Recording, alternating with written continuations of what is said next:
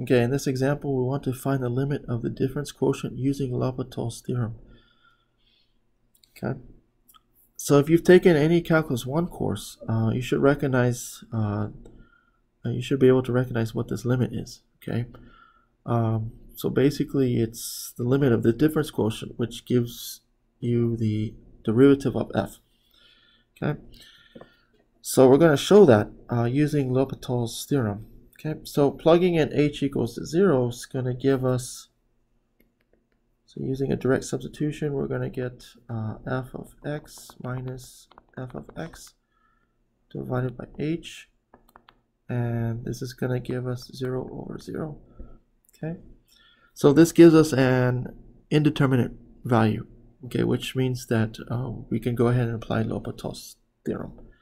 Okay, so then we have the limit so h goes to 0. Um, so we're going to take the derivative of the numerator and the derivative of the denominator.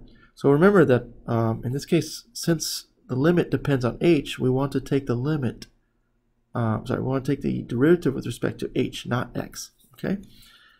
So this is going to give us f prime of x plus h times the derivative with respect to h of x plus h. Okay minus the derivative of f. So f is in terms of x, but we're taking the derivative with respect to h, so that means this is treated as f of x is treated as a constant. So this is going to be 0. Okay, All divided by the derivative of h with respect to h is going to be 1. Okay, so now let's go ahead and simplify this. Okay, so f prime of x plus h Okay, we have that uh, times the derivative. Okay, this part. The derivative of x plus h with respect to h is just 1. And then minus 0. Okay, and then divide by 1. So now,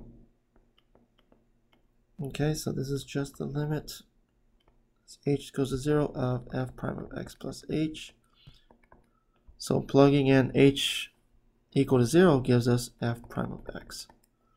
So therefore, we show that the limit of f of x plus h minus f of x divided by h as h goes to 0 uh, is indeed f prime of x.